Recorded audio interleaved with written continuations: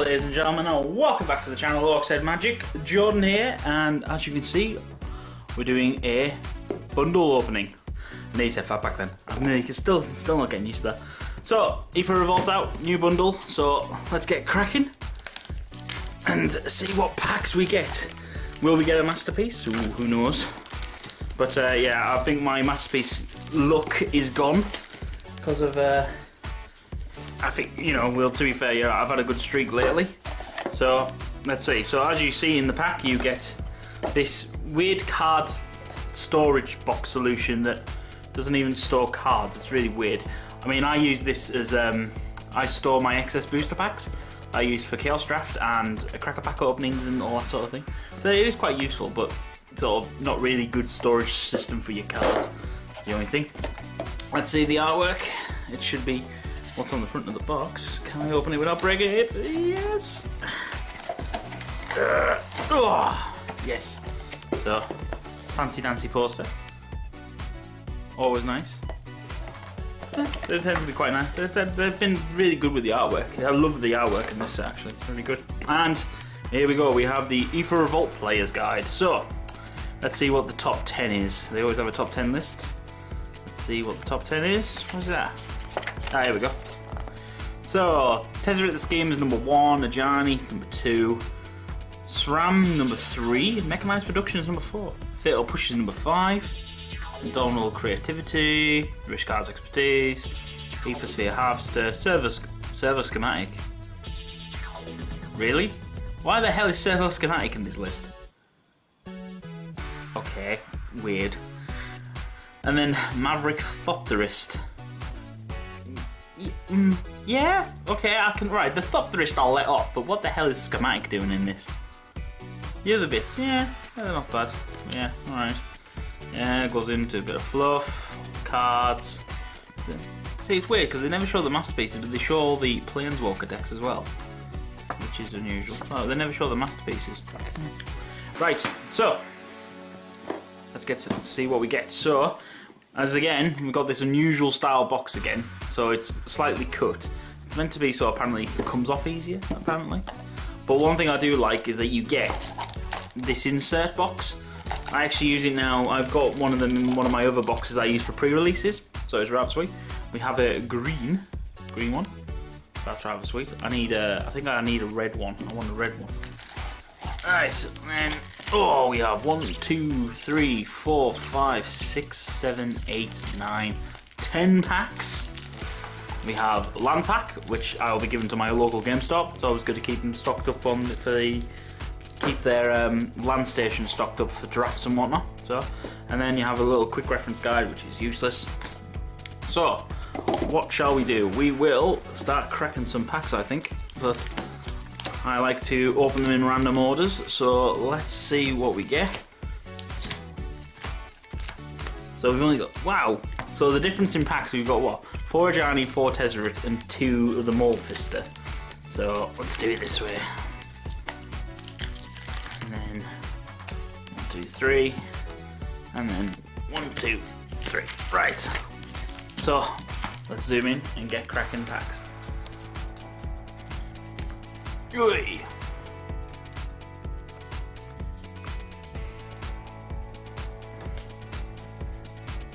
So, so so far I've been really enjoying this set. I love the artwork on it. It's absolutely stunning. And the uh, best thing as well is that some of the packs that pack openings I've seen, you just get so many interesting things. Right, so starting off with the uncommons. We have Gremlin Infestation, Sly Requisition, Pacification Array, great and sealed. And Solemn Recruit is the first rare, which is for 1 and 2 white, it's a Dwarf Warrior, it's 2 2, has double strike, and if you trigger Revolt at the end before the end step, you get to put a 1 1 counter on it. Uh, left unchecked, this thing gets insane quite nicely. It's really good. Uh, unfortunately, I never got to go off with it in my one, one of my sealed sealed pools. Right. So next deck. I mean, to be fair, that Solemn Recruit does fit in quite nicely with sort of the uh, red-white aggro sort of situation with the dwarfs and Depala and all that sort of thing. Because Depala makes it a 3-3 automatically, just without the counter. Okay, we have Gremlin Infestation again. Fire Patrol, Reckless Racer, and Midnight Entourage is the rare, which is for 2 and 2 black. It's an Aetherborn Rogue. Other Aetherborn you control get plus 1 plus 1, so it's a Lord. And whenever you. Uh, whenever it or another Aetherborn dies, you get to draw a card and you get to lose a life. So. Um, it's good because it pumps up all your Aetherborn, but it's bad because, of course, if they board wipe you, you lose a lot of life. So you have to have some sort of synergy and life gain in this deck, and then a servo on an island. So okay, but it does have that little drawback. But you do get card draw off it, which isn't actually too bad. Um, definitely you could see a tribal deck maybe going round of that. Um, and it is a 3-3. If you get two of them out, you know, suddenly they're both 4-4, which is absolutely because they pump each other. But it's always good for... Um, it's definitely a, definitely a decent lord. Shame it's not a 3-drop though, rather than like most other lords always have been in, in past. Right, Skyship Plunderer, Aer Aeronaut Admiral, Renegade Wheelsmith, and Herald of Anguish. So our first mythic is the Herald of Anguish, which is 5 and 2 black. It's a demon that's 5 5. It has improvised, so the artifacts can reduce its cost. It has flying at the beginning of each end step, and each opponent discards a card. And then you can pay a 1 and a black and sacrifice an artifact, and target creature gets minus 2, minus 2 until the end of turn. So, not buying some sort of uh, token strategy, but definitely you need a lot of. Uh, you definitely don't want to be paying 7 mana for this, you want to be paying ideally four, 5, maybe even 6 at max. Yeah. So that's 3 packs in, 7 to go. Let's see what's the next one. To be fair, a lot of people are wanting to, wanting him for like commander decks and stuff like that because with commander he's a bit insane, making all your opponents discard at the end step. Right, Trophy Mage, a very good card. The two, the tutor for an exact artifact of three. Deft Dismissal, Reverse Engineer, and Oath of Ajani is the rare. So it's a legendary enchantment, it's one and a green, and when it enters the battlefield you put one more counter on each creature you control, and planeswalkers cost one less to cast. Um, well, we discussed this on Ugin's Insight, and I, I, my feelings to this, I mean, one, this is a great late game card, if you, especially if you've got creatures on the board, because it pumps them. Um, it also makes planeswalkers cheaper, which isn't a bad thing. So yeah, definitely, definitely interesting. And Swamp and the Servo. So let's see, pack number five. So let's see, pack number five. What will we get? Come on, halfway point. We're gonna get start getting something good. So, Gifted Aetherborn is the first one. Uh, vampire, Aetherborn Vampire Nighthawk. Nam Renegade. Felidar Guardian, sweet the uh, part of the new Blink combo. And Exquisite Archang Archangel, so that's our second mythic of the booster. So this is 5 and 2 white, it's an angel, it's a 5-5, it has flying, and if you would lose the game, instead you exile this, exile the angel, and your life total becomes equal to your starting life total. Definitely uh, interesting. Uh, can I say he makes standard play? No. Commander, yes, quite easily. Um, definitely going to be uh, interesting. But of course, it doesn't get around in infect damage. That's one thing to remind. Oh, and our foil is Implement of Combustion. a swamp and that. So, got a foil, but yeah, pretty said, yeah, foil. Ah, shock. One of my favourite new cards of the set. I do love this card. So let's see. Right. Daredevil Dragster. Gonti's Machinations. Tezzeret's Touch. And our rare is Freejam Regent. It's 4 and 2 red. It's a dragon. It's 4 4. It has improvised, so you can make it cheaper to cast. Uh, it has flying and then it has I what I call super fire breath, which is um, you pay one red and you get plus two plus zero until the end of the turn, rather than the uh, pay one red and you just get plus one plus zero. So yeah, was sweet. And an Etherium cell, yes, these are the new Tezzeret Tezzeret token artifact. Right. Oh, four packs left. So first of the Molfists. Right. Well, the other the other uh, the other ones would have been a bit more pointless. So hopefully all the actions are. Alright, Winding Constrictor. Very good in a 1-1 count. And a, oh, we have got a foil. Is a Winding Constrictor. We have Aerial Modification. Consulate Dreadnought. Peacewalker Colossus. Oh no, we don't have a foil. I'm mistaken again.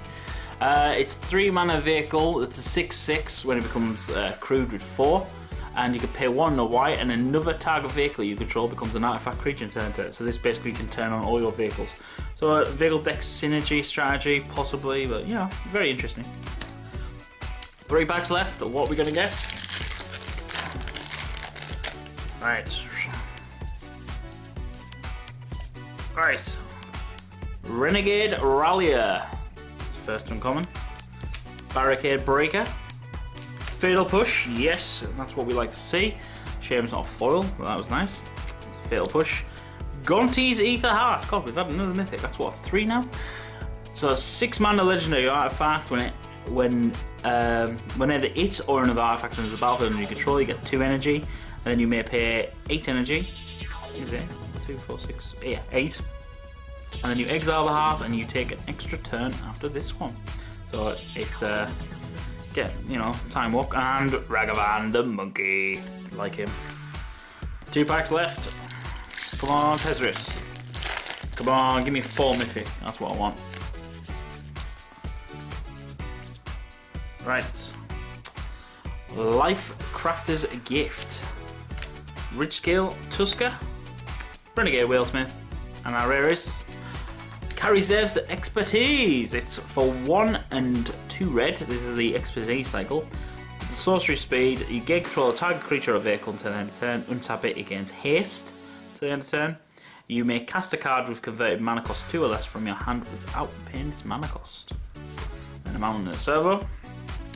Uh, yeah, I do like. I, uh, carries isn't as good as the, some of the other ones. I mean, in an aggro-based strategy, it's not too bad, sort of thing. I mean, you, this would be sort of you would use that as a bit of a finisher to get swinging for a lot of damage or remove a blocker of the way, sort of thing. So you know, but it's not too bad. Okay, Ornithopter. Yes, the zero mana, zero two artifact. Siege modification would be very good on an Ornithopter. Windkin Raiders, and our rarest, Dark Intimina Intim Intimidation. Oh, ah, I can't say it. Dark Intimidations. For two, a blue, a black, and a red.